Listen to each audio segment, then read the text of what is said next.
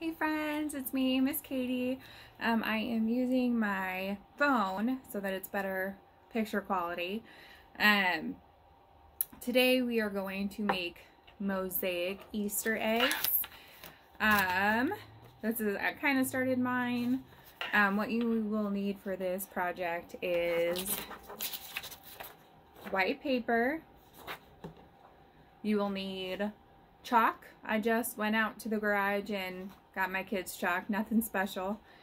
Um, painter's tape, I would recommend using the thinner um, painter's tape. Mine's thick, so I had to cut mine in half.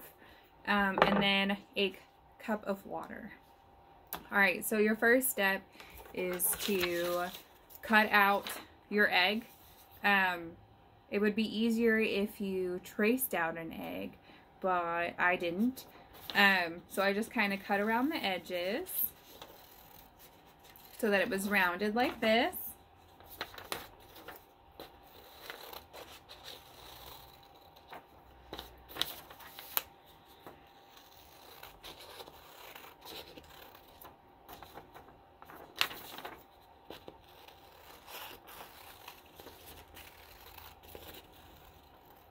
And then if a corner seemed to be too pointy like this one is, um, I just rounded it off with my scissors.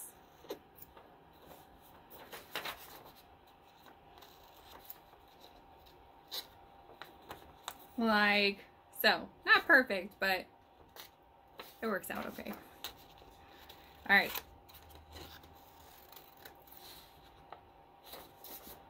Alright, the next step with your egg is to put painter's tape on it in any kind of pattern that you wanted. I decided to go with lines.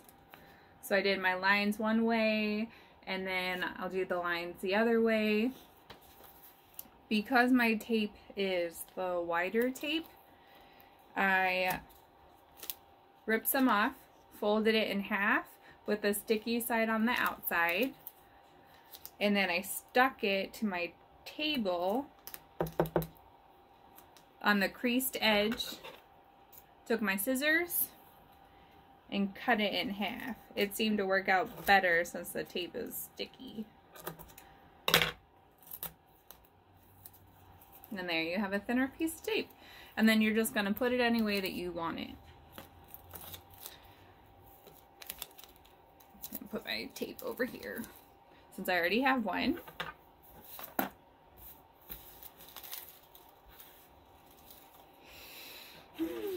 Okay, then, sorry, I played with my hair. I washed it today.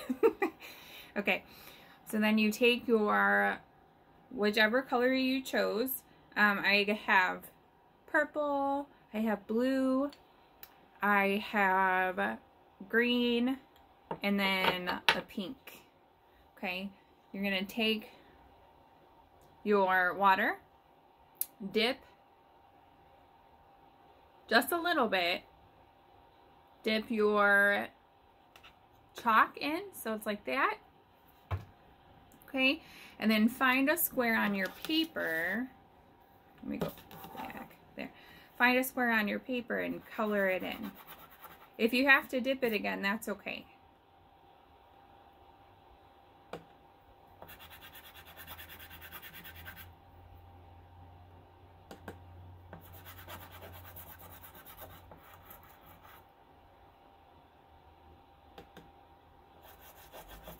You don't want to dip it too much um, in the water because then it will rip your paper.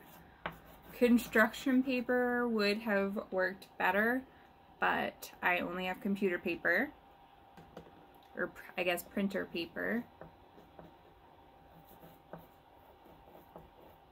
I'm making sure to outline it and then get the inside.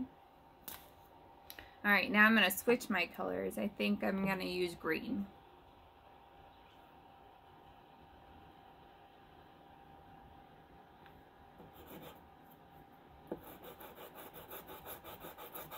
Oh, I kind of like what the green's doing on my paper.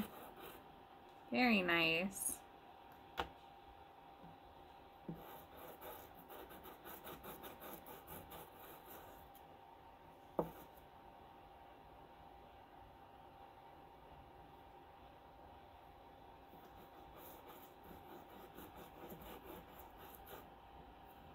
All right. Hmm. Let me go with blue. Oh, who likes blue? I know I have some friends who like the color blue.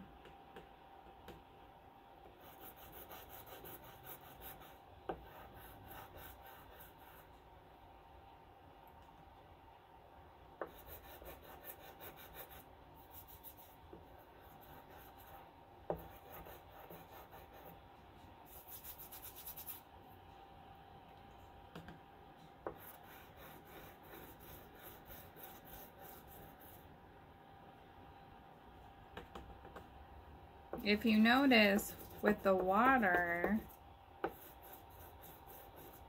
it kind of smears your paint so it covers more surface, which is nice.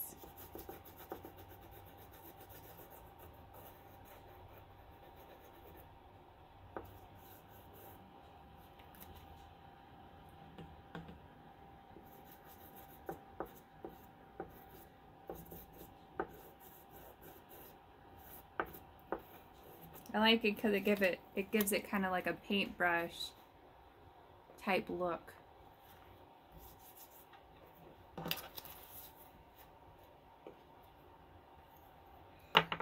Like I said, it probably would have worked out a little bit better if I had um, a little thicker paper. So I'm trying not to get it too wet. You could try it on construction paper um, maybe try a yellow. A yellow might be really cool.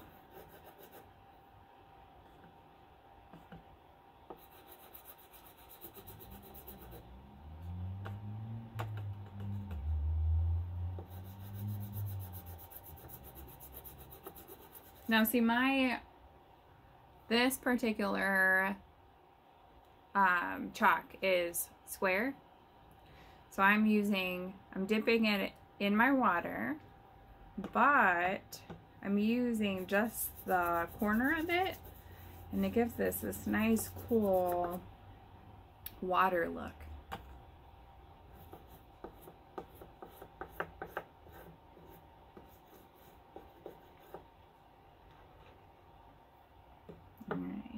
Hmm. Another cool way that you could color this is by doing a pattern.